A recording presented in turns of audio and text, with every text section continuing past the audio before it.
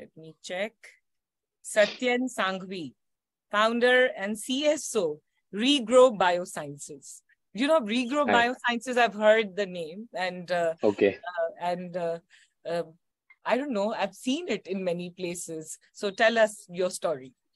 Thank you. Thanks, Shraddha, for having and inviting Regrow and me on the platform. Uh, I think you're doing an amazing work helping startups uh, reach out to whoever the stakeholder they're trying to reach out to. So, uh, congratulations to you on that. So, uh, so Regrow, uh, I'll give you a little bit of background of mine myself. Um, I am a biotech student. I did my training in stem cell.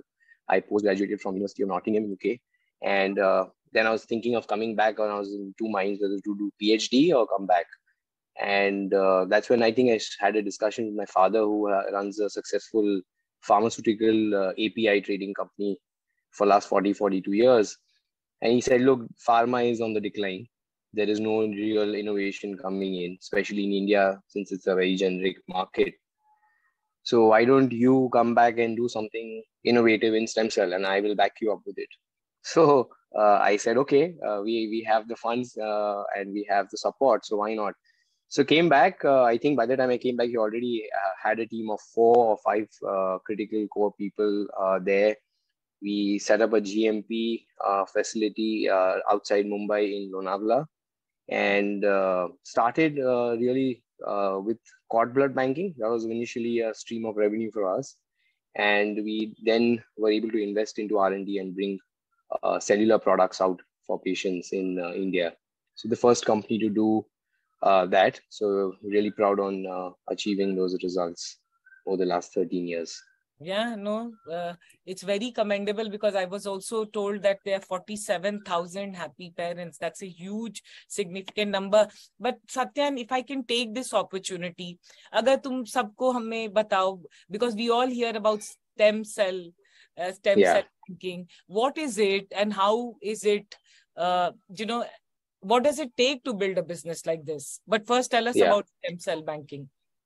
Sure. Uh, so, Shraddha, we are doing stem cell banking by the name uh, BioCell, and that's one of the uh, revenue streams and a business model we've built for uh, you know parents who are uh, expecting, uh, and at the time of childbirth, we collect the umbilical cord blood stem cells, and then practically you know isolate them, store them in uh, in a proper environment, and then keep them ready for future use. That has been the primary model uh, for us to grow. But our real, real core model that we are focused right now is on regrow cell therapy products, uh, where we've invested uh, heavily into IP and clinical trials. We've got uh, three uh, autologous, uh, meaning patients' own uh, specific products to the market now. And we've launched them. We've treated now roughly more than 3,000 patients in India. So we Is are that- right now. What is that, Satyen, regrow product? What you talked Correct. about? So, so cellular therapy is basically when you don't have when you have a critical disease, a, a chronic disease, and it doesn't heal by traditional medication or surgical methods. You're just managing the disease. So, say for example, you have um, hip, you have a bone injury which is not healing. So you basically keep on taking, say, anti-inflammatory or painkillers, and then probably go on to steroids and at one point the the surgeon is going to tell you to let's let's do a, a surgery which may involve a joint replacement. So at that point you don't need to do that.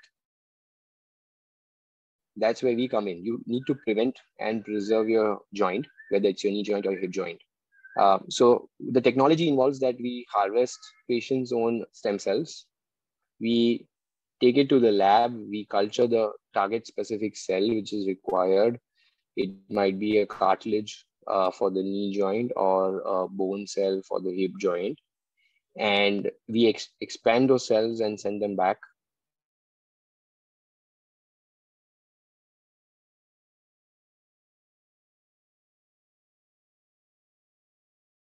Is it my internet or is it Satyen who's, I think there's an issue with internet, Shraddha. है ना? Yeah. So you, can you just talk to him and see Sure, he, we're just getting him back. yeah. Uh, hello? Yes. Yes, sorry. Ah, so you Can were you hear saying, me? Yes, yes, yes. You said Yes, you okay. harvest and keep it. Yeah. Yeah, so we have we harvest it, we expand the cells, the target cell that you require, and that is then sent back to the surgeon who would implant it back in the damaged area. So that basically regenerates the body tissue, and you don't need to do a morbid surgery like a joint replacement surgery. So that's where we come in. We are uh, we are creating a new segment which is uh, regrowth of tissue or regeneration of tissue, and not replacement of your uh, bone or uh, your knee or your hip joint. So that's uh, what we are currently focused on. And we have three products. One is for the bone, hip joint, one is cartilage, and one is urethra for male um, urinary problems. So those are three areas, three products that we have patented. We have license from the Indian FDA, um, the first company to do so. And uh, now even insurance is covering this. So a lot of hospitals and doctors, that's what we are trying to do right now, busy with scaling up on that side. So tell me something. So you, uh, like you, you will have to work with the doctors, right? Because abhi to, there must be some method by which the doctors would be treating. So what is Correct. the, and I'm assuming that this is more efficient, more, matlab, of course, this solves problem uh, in more real way. So what is the incentive for doctors? How are doctors recommending? So uh, yes, you're right. We have to work with the let's let's take the example of the bone product. So we work with orthopedic surgeons in that. So typically today, the disease that we are trying to tackle uh, is is not a very uh, known disease, and but that is the uh, main disease which leads to osteoarthritis. So if you do not solve the problem at during during the time the early diagnosis, you're going to miss the bus. So you then you're probably looking at a, a joint replacement very early in life. So we have to uh, we have to educate the surgeons. One because we're a small brand, it takes a lot of time to reach to the hospitals. Uh, and and if if there was a big MNC selling a product like this, it would be much faster, right? So we at the same time creating a brand. It takes time. Uh, a lot of surgeons ask for long-term data. So uh, do you have this five years, ten years, twelve year? What are your outcomes like? So we've been in that uh, struggle. So we have like a decade-long results now uh, published in international journals, and now doctors are really inquiring. So daily we have like five doctors calling us now and uh, saying that I have this patient and I want to do this treatment. So we've reached that inflection point where uh, you know all these years of hard work, st- digging it in and uh, staying, sticking with uh, certain uh, KOLs, uh, because you want to keep your product in the hands of a few surgeons so that you know you have a good result base once you do that you can exponentially increase your outreach to various doctors in all cities and and and sorry but a question i have is that of course the surgeons and the hospitals uh, uh, are the people you know who recommend it to the patients or whoever is coming. But is there some way that you also directly reach out to consumers and say that listen these are the options and this is what Sure, you should yeah. ask for correct. So uh, like i said you know every orthopedic is not going to do this. Some of them do joint replacement. Some of them are interested in joint preservation so it's the young doctors who we are really looking at because those are the ones who really understand that joint preservation is very critical important especially when these and diseases that sorry i also have a question. Is it cheaper yes. then is it cheaper than the it's similar it's similar cost but uh, uh, let me tell you what we've done. Uh, if you see the same, same product similar product in the us market uh, if you go into your cartilage transplant it's going to cost you $50000 in the united states and if you do it here it's going to be three and a half lakhs uh, in a hospital like say apollo so that's the, uh, the you know, that's the cost uh, benefit uh, we've got it at the indian uh, knowing knowing that india is a price sensitive market uh, the insurance cap is usually at two or three lakhs per family. So we've been able to bring it to a price point which is similar to the joint replacement, but we aren't we aren't really pitching it out like that. It's more like uh, obviously a 30 year old can't do a replacement surgery, right? So he has a whole life. He's probably yet to get married, have children, and and so on. He's probably at a peak point in his career as well.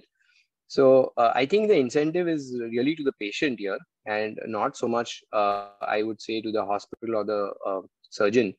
Uh, and uh, yes, we do reach out to patients as well through social media and other kind of advertisements, uh, where we have huge uh, inquiries coming in where patients are saying, I don't want to do replacement. Can you guide me? What is your treatment about? And we have this like a uh, medical tourism approach where patients reach us uh, in India, outside India, and then we connect them to hospitals and surgeons who are uh, who have good data on our product, and they're free to consult them and then take it forward from there. So we we work with hospitals like Apollo, uh, Manipal, Max, uh, and we have surgeons in those hospitals. At the same time, we have um, even government hospital doctors who are using the product. So it depends when the if the patient has insurance, we send them to corporate. If they don't have insurance, they are free to go to the government hospital setup. So we've made this kind of a two price, uh, sorry, two tier uh, model for patients. But then uh, uh, R&D would be a very big uh, part of your venture, no? Like, and, and a lot of investment yeah. in that. So tell us about that and what are some of the new frontiers uh, uh, in this mm. space that you're looking at? I'm assuming yeah. anti-aging will also be one of the uh, big levers of growth. Hmm. So uh, yeah, R&D obviously for a biotech company, we need to invest heavily into IP. We have uh, 28 uh, patent assets. We have uh, several of them granted in India, US, Singapore, um, various other countries as well. Um, and also looking at the R&D team, we have a small dedicated R&D team of eight people headed by a PhD postdoc who's come back from US. So we have a good dedicated team on that side. We have 45 scientists working on the production quality control at the lab as well. And so far, we've invested uh, in a lot of clinical trials, a lot of research, uh, and roughly I would say 75 CR has gone in uh, in the funding so far. We are yet private company. We haven't uh, raised capital yet from external sources, and we continue to do so because uh, this probably is not a palatable model for a lot of uh, I would say VCs um, because they look for fast growth healthcare, something that uh, does not grow very fast. It's not a hockey stick model. Um, so we're looking to find strategic partners who can really understand this uh, concept, this technology, and then probably collaborate with them in some level, or maybe. And who would funding. be, if you had to just give for reference, just a name of someone who could be a strategic partner? Who would that be? So uh, let's say, let's see the situation of Indian pharma companies, right? Uh, they really have no uh, new business model. Some of them are venturing into diagnostics. Some of them are going into uh, pet food. Some of them are going into uh, vaccines, not so successful there.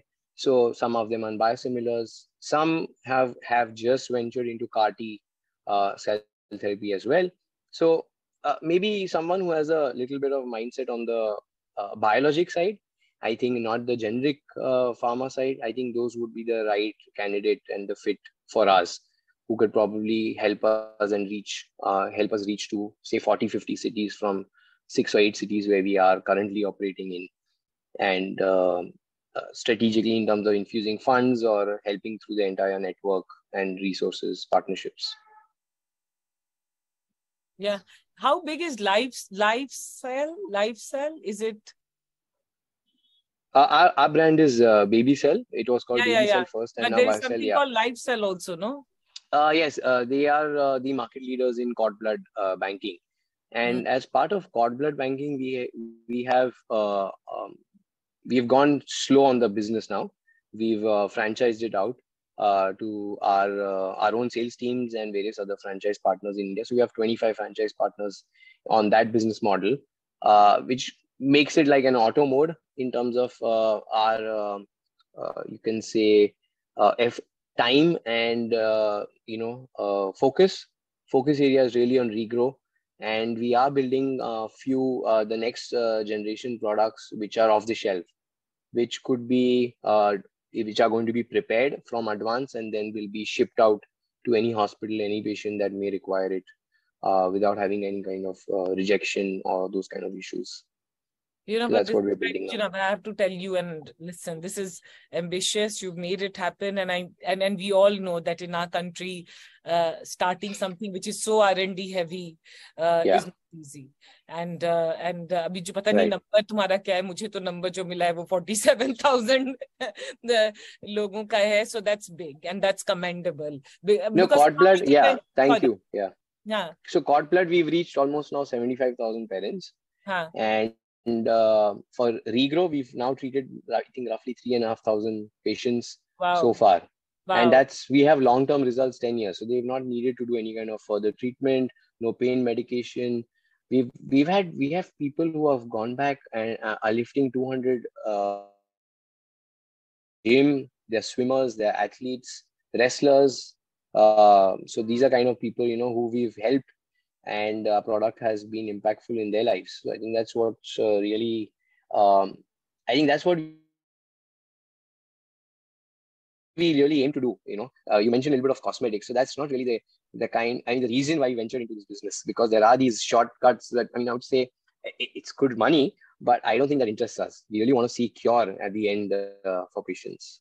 Yeah, and and that's why you've uh, stuck around now, no, for 13 years and created this kind of impact. And I, again, I'm saying that I know what it takes in the country, in our country, Yeah. to start from scratch uh, uh, Correct. such R&D led uh, business and hip, मतलब जिसको भी joint hip replacement जिसका होता है उसी को पता चलता है how traumatic it is. I know, I know, I Yeah. know. And, and, and competing with the b- likes of big companies, right? All these MNC companies who get these metal imports, uh, metal processes, all of them are MNCs. And I mean, that's what we are really looking and talking to government right now that uh, there's a big talk of Make in India, Atmanirbhar. But then where is the support to uh, companies like us? Like, we are solving a big problem here. We are preserving joints. Uh, we are trying to reduce the import of metal impa- implants in the country and giving the patients uh, 10 years 20 years god knows how many years of uh, you know cure i mean so why not promote us why not get your, get us into government hospital tenders Absolutely. uh, unlike and con- so that's what we are trying to talk to them and uh, yeah. you know we have a very uh, amazing health minister i think you should uh, get in touch uh, and uh, talk to him. I'm uh, he's more than happy i'm uh, Sure. uh, at his office to listen to startups. Yeah but this is brilliant and i look forward to more Thank conversation uh, and and to everyone watching and listening uh, two three things i'm picking up where we can all uh, pitch in uh, strategic partners uh, who would who think long term and and who are Yeah. thinking of impact and diversification are partners uh, of course the government who has to look at Yeah. uh, government is a big yeah yes category and to each one of us let's spread it हमारे circle में अगर किसी को भी ये सब किसी चीज की जरूरत है सर्जरी के जगह पे we know that we have biocell biocell no baby cell no regrow regrow regrow regrow regrow so there are two different brands yeah so we regrow is where what we're regrow talking regrow about yes yes, so Shraddha. regrow regrow biosciences and regrow is the brand yes so don't so that there's a nice tagline that we created don't replace regrow oh wow Okay now now one will remember. Don't replace yeah. Yeah. And where Yes. it's based? So we are based in Mumbai. Uh, we have several offices in India, and we just started a small office in Singapore and uh, US uh, to look for funding and look for partners across. Uh, we have hundred people in the organization who work tremendously, who have contributed, and uh, we're happy to have them by our side. yeah. Brilliant. Brilliant. Yeah, and I'm happy to have this story without any venture funding, growing and regrowing. So yeah, thank you. all I think your interview, your interview, you should do it. So I think uh, that's what was lacking till now. no, no, no, no. We should have more conversation. Yeah. Sure. Thank you, Okay. Thanks. Thanks. Thank you so much for your Thank you time. so Thank you for inviting us once again. Thank Yeah. you. Bye. Take care. Bye. Bye. And the last.